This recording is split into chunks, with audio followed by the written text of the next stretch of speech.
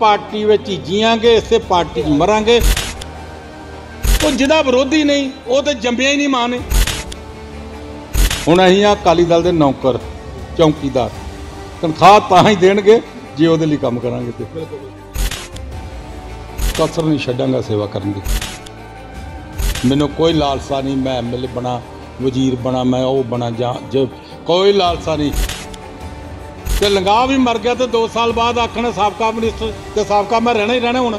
ਮੈਨੂੰ ਬਾਦਲ ਸਾਹਿਬ ਬਣਾ ਕੇ ਸਾਬਕਾ ਤੇ ਮੇਰੇ ਦੋਸਤ ਢੀਂਡਸਾ ਸਾਹਿਬ ਨੂੰ ਤਰਲਾ ਮਾਰਾਂਗੇ ਵੀ ਆਖਰੀ ਸਾਹ ਵੀ ਅਕਾਲੀ ਦਲ ਚ ਲੈਣਾ ਵਾ। ਚਟਾਨ ਵਾਂਗ ਉਹਦੇ ਮਗਰ ਖੜੇ ਹੋਵਾਂਗੇ, ਪੈਸੇ ਵੀ ਖਰਚਾਂਗੇ। ਐਸਾ ਸਾਡਾ ਮੈਨੂੰ ਸੁੱਚਾ ਸਿੰਘ ਲਗਾ ਜੋ ਸਾਬਕਾ ਮੰਤਰੀ ਜਿਹਨਾਂ ਦੀ ਕੱਲ ਦਾ ਜੀ ਵਾਪਸੀ ਹੋ ਚੁੱਕੀ ਹੈ ਨਾਲ ਗੱਲਬਾਤ ਕਰਾਂਗੇ, ਪੁੱਛਣ ਲਗਾ ਸਾਹਿਬ, ਵਾਪਸੀ ਹੋ ਜੇ ਕੱਲ ਦਾ ਜੀ ਕੀ ਕਹਿਣਾ ਹੁਣ?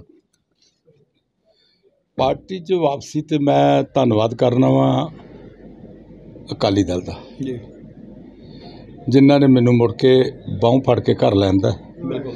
ਤੇ ਉਸ ਘਰ ਵਿੱਚ ਮੈਂ ਕੋਈ ਕਸਰ ਨਹੀਂ ਛੱਡਾਂਗਾ ਸੇਵਾ ਕਰਨ ਦੀ। ਉਸ ਘਰ ਵਿੱਚ ਚੌਕੀਦਾਰ ਬਣ ਕੇ ਪਹਿਰਾ ਦੇਵਾਂਗਾ। ਔਰ ਅਕਾਲੀ ਦਲ ਦੇ ਝੰਡੇ ਜਿਹੜੇ ਬੁਲੰਦ ਕਰਾਂਗਾ। ਮੈਨੂੰ ਕੋਈ ਲਾਲਸਾ ਨਹੀਂ, ਮੈਂ ਐਮਐਲਏ ਬਣਾ, ਵਜ਼ੀਰ ਬਣਾ, ਮੈਂ ਉਹ ਬਣਾ, ਜਾਂ ਜੇ ਕੋਈ ਲਾਲਸਾ ਨਹੀਂ। ਇੱਥੇ ਮੇਰੀ ਜ਼ਿੰਦਗੀ ਵਿੱਚ 10 ਮੁੱਖ ਮੰਤਰੀ ਹੋਏ ਨੇ। ਮੇਰੀ ਜ਼ਿੰਦਗੀ 'ਚ। 2 ਸਾਲ ਬਾਅਦ ਨਾਮ ਮੁੱਕ ਜਾਂਦਾ। ਤੇ ਲੰਗਾ ਵੀ ਮਰ ਗਿਆ ਤੇ 2 ਸਾਲ ਬਾਅਦ ਆਖਣਾ ਸਾਬਕਾ ਮਿਨਿਸਟਰ ਤੇ ਸਾਬਕਾ ਮੈਂ ਰਹਿਣਾ ਹੀ ਰਹਿਣਾ ਹੁਣ। ਮੈਨੂੰ ਬਾਦਲ ਸਾਹਿਬ ਬਣਾ ਕੇ ਸਾਬਕਾ ਤੇ ਮੇਰੇ ਮੇਰੇ ਨਾਲੋਂ ਨਹੀਂ ਨਾ ਕਿਹਨੇ ਤੋੜ ਲੈਣਾ।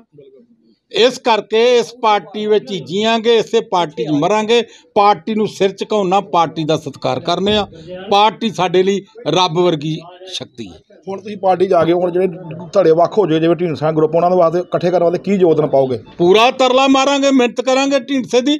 ਜਿਸ ਪਾਰਟੀ ਵਿੱਚ ਢੀਂਡਸੇ ਨੇ ਲੰਬਾ ਸਮਾਂ ਰਾਜ ਭਾਗ ਭੋਗਿਆ ਸੈਕੰਡ ਕਮਾਂਡ ਬਾਦਲ ਸਾਹਿਬ ਤੋਂ ਚੁੱਕਦੇ ਸੀਗੇ।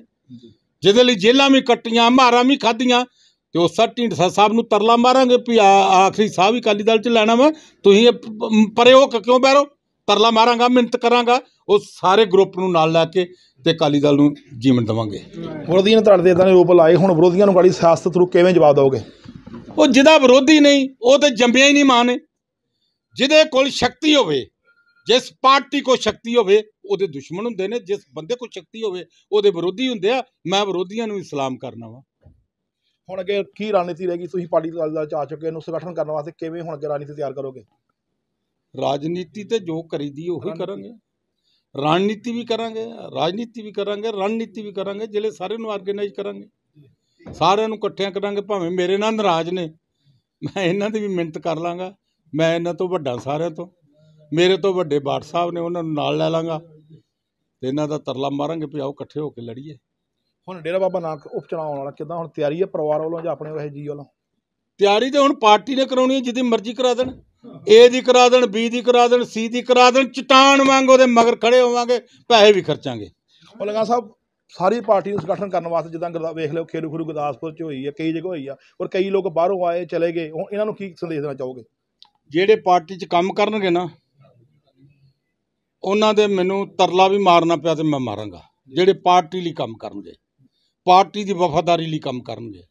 ਪਾਰਟੀ 'ਚ ਜਾਨ ਪਾਉਣਗੇ। ਉਹਨਾਂ ਲਈ ਮੈਂ ਪੂਰੀ ਵਾਹ ਲਾ ਦਿਆਂਗਾ ਤਰਲਾ ਮਾਰਨ ਦੀ। ਹੁਣ ਤੁਹਾਡੇ ਵਿਰੋਧੀ ਨੇਤਾ ਅੱਜ ਕੱਲ ਬੜਾ ਸਰਗਰਮੀ ਹੈ ਜਿਹਦਾ ਤੁਹਾਨੂੰ ਖਾਸ ਕਰ ਝੂਠ ਤੁਹਾਡਾ ਕਹਿਣਾ ਵੀ ਫਸਾਇਆ। ਉਹਦੇ ਬਾਰੇ ਜਦੋਂ ਹੁਣ ਪਿਛਲੇ ਦਿਨ ਵੇਖਿਆ ਕਿ ਵੀਡੀਓ ਵਾਇਰਲ ਹੋਈ ਡੀਸੀ ਦਫ਼ਤਰ ਗਿਆ ਕਈ ਕਿਸ ਤਰ੍ਹਾਂ ਬੋਲੇ ਕੀ ਇਹਦੇ ਕਹਿਣਾ ਇਹ ਜਿੰਦਾ ਰਹੇ ਤੇ ਆਪਣਾ ਹਸਰ ਵੇਖੇ ਇਹਨੂੰ ਰਾਜਨੀਤੀ ਨਾ ਮਾਰਾਂਗੇ। ਇਹਦਾ ਬੜਾ ਮਾੜਾ ਹਸਰ ਹੋਣਾ ਮੈਂ। ਇਹ ਨਹੀਂ ਵੀ ਮੂੰਹ ਦੇ ਨਾਲ ਕਿਸੇ ਨੂੰ ਗਾਲਾਂ ਕੱਢੀ ਜਾਵੇ ਤੇ ਇਹ ਇਹ ਬੜਾ ਵੱਡਾ ਬਹਾਦਰ ਹੈ। ਗਾਂ ਵੇਖੇ ਰੱਬ ਕੀ ਕਰਦਾ? ਰੱਬ ਹੈ।